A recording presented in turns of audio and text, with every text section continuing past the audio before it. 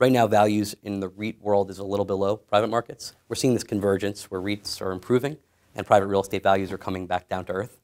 Uh, in, in reality, I think that's going to continue. Joining me today is Steve Loffman, Managing Director with Raymond James. Steve, thanks so much for joining us. Thanks for having me. Now, you were on a panel here at REITwise that looked at the state of the real estate capital markets. How would you describe the overall health of the market as we sit here today? Much better than it's been the past couple years. Um, still a little bit challenged. We're, we're, trading from an equity perspective at a little bit of a discount to NAV. And uh, that will prevent us probably from raising as much equity as we'd like to see in the space.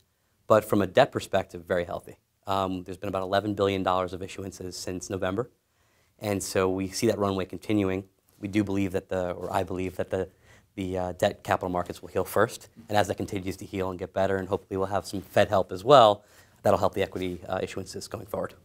And speaking of the Fed, with expectations that rates will be lowered later this year, do you think we'll see an uptick in REIT M&A activity and IPOs in the near future? Sure. It's been an interesting uh, four or five months for sure, right? So we, we had uh, probably irrational exuberance around November through about a month ago, um, tempered by the last about a month. And then we just had at 2 o'clock today, uh, folks come out and say there's going to be likely three cuts this year. And so we do expect to see those rate cuts uh, over the, the course of the remainder of the year. And as a result, we do think, or I think, again, that equity pricing will be improved real estate tends to perform uh, better. Specifically, public real estate seems to tends to perform better as rates come down, and as a result, we think share prices will go up, equity issuance will go up. And finally, do you think that the private real estate markets will recognize the new values caused by the changes in interest rates, so that there will be CRE transactions in the coming year? Uh, to summarize, yes, I do. Um, what we've seen has been this always this ongoing convergence between where repricing has been, public repricing, obviously in the private markets. Sometimes REITs are outperforming, sometimes they're underperforming.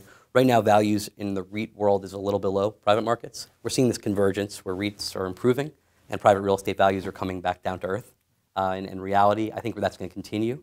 And the bid-ask spread between buyers and sellers is coming to a, a smaller uh, fork of the road, if you will, and we, we do expect to see a lot more transactions in the rest of the year.